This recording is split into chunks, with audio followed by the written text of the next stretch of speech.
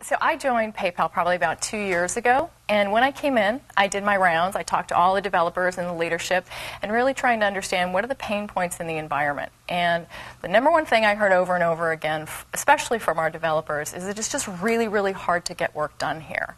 And that was that sentiment was the impetus behind the transformation that we have been leading at PayPal over the past two years. So I've been at PayPal for about six months now, and we're moving to an inner source model. And what that is, is, is really an open source internally within PayPal to make our distributed teams a lot more effective.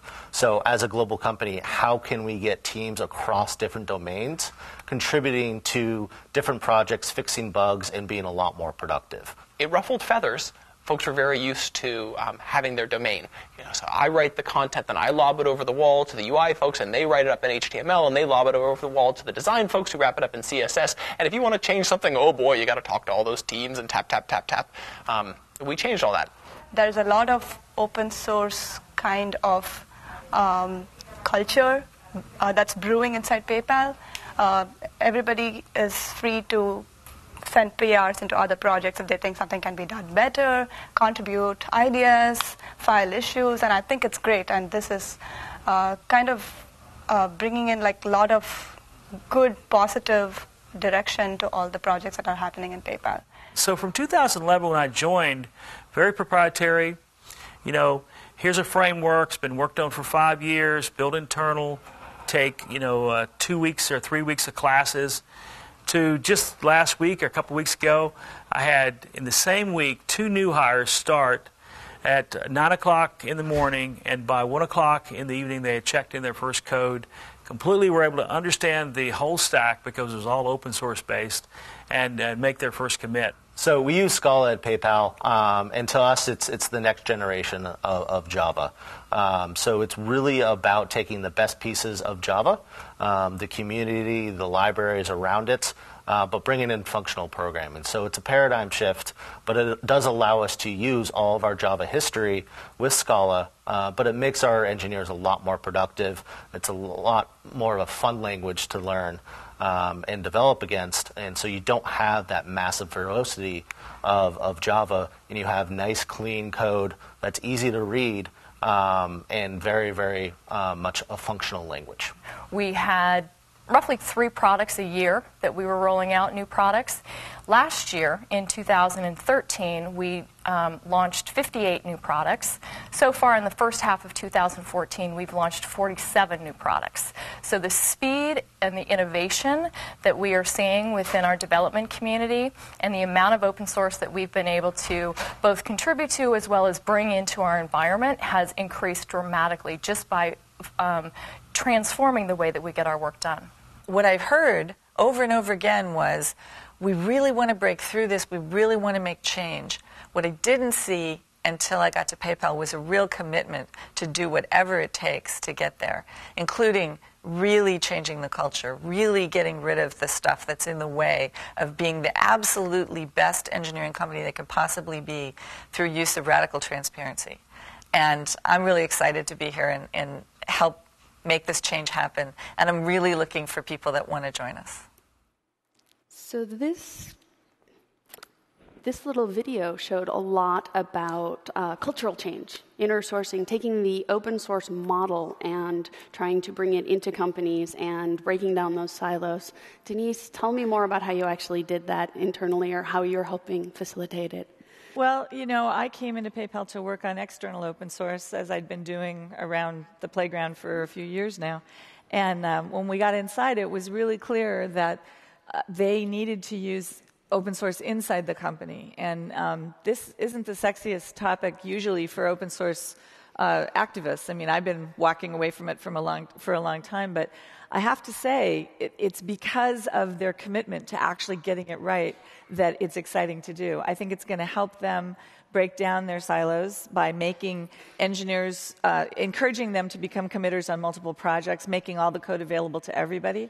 Mm-hmm. But I also think that it's really going to help them be better open source citizens on their external projects. So I'm really looking forward to it. So you're seeing, are you already seeing ways to um, make it easier things, easier to get things done? Edwin, I know you've been with PayPal for a while. You're a fellow there. Have you seen a big change? Yeah, you know, I think that that you know the keys around open source and really around this inner source model as well is trust and transparency. And those are the kinds of things that you need in any environment, whether that's inside of a company or inside of a community, like Tim was talking about earlier, to really sort of allow people to take their passions and express that through code and through activism and through various inter- interesting ways.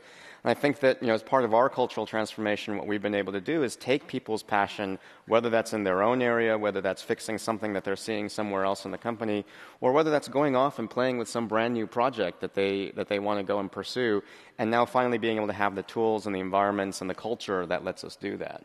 Mm-hmm. Josh, I heard that you have a fun story of like really whatever it takes to change. You were one of those catalysts. So tell us your story.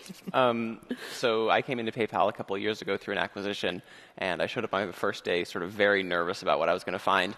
And um, there was a bit of delight. Oh, there's a GitHub Enterprise install. Fantastic. I'm going to poke through the code, and I found the, uh, the PayPal iOS app, and I figure I'll tinker a little bit. And uh, I went to build it, and there were like 50 build warnings. And I was like, oh, that's not going to fly. So I went through and I fixed all the build warnings warnings, um, and I sent a pull request. And there was a flurry of panicked emails and meeting requests. And what did you just do? And I got this email, and what is it? And inside the company, GitHub Enterprise had basically been used sort of like SVN or, or ClearCase. Um, and so there was a lot of working out of that. So this radical transparency was not at all what anyone was expecting. But we fixed it, and, and pull requests are now one of the standard de rigueur ways to make changes. To interact and go across the teams. Um, so how, how do you take this new transparency and translate it to um, moving things faster and finding that urgency around getting things done, Danese? Well, you know, we, we sort of famously have started using Node.js, and um, that was a project where Bill Scott talked about the, just how much faster they could move and how much they schooled the rest of that part of PayPal in, wow, these tools really do make you more productive. Um, I think that religion has definitely taken hold, and as we pay down our technical debt, we're totally picking up open tools and making them work at our scale, and, and then we're starting to give that back because um, we think there are other companies that want to do this too. So we've got the internal doing it right, doing it better, and improving it. Um, well, and getting them to work outside the company on one tree instead of having a separate one inside, that's a really big piece of it. So yeah, not having split views and not holding things internally. So this is this is all moving forward internally, and and we're seeing external commitments and such are we there yet? Is there a way that people can see what's going on inside PayPal? And yeah, I, I, I, think we're, we're, we're well on our way, but we're certainly not there yet. Mm-hmm. You know, I think that we've made really great contributions to the Node.js community with things like Kraken and the OpenStack community with some of the things that we're doing there. Um, but clearly, we've got a long way to go, and I think that there's a ton of great stuff that's still sort of locked behind the walls of PayPal that we'd really love to start being able to share with you guys. Um, and so, you know, I would certainly love to see more of you participating in our GitHub repository at PayPal. I would love to see, you know, you guys coming down and talking to us at the booth and, and, and exploring how you can get involved, um, you know, from where you are and, and in the community, as well as, you know, come and join us because we've got some really great stuff that we're doing, and we'd love to have you be part of that. Well, that's awesome. Thanks very much for sponsoring OSCON and talking with me also about what you're doing internally. Thank you. Thank you. Thank you.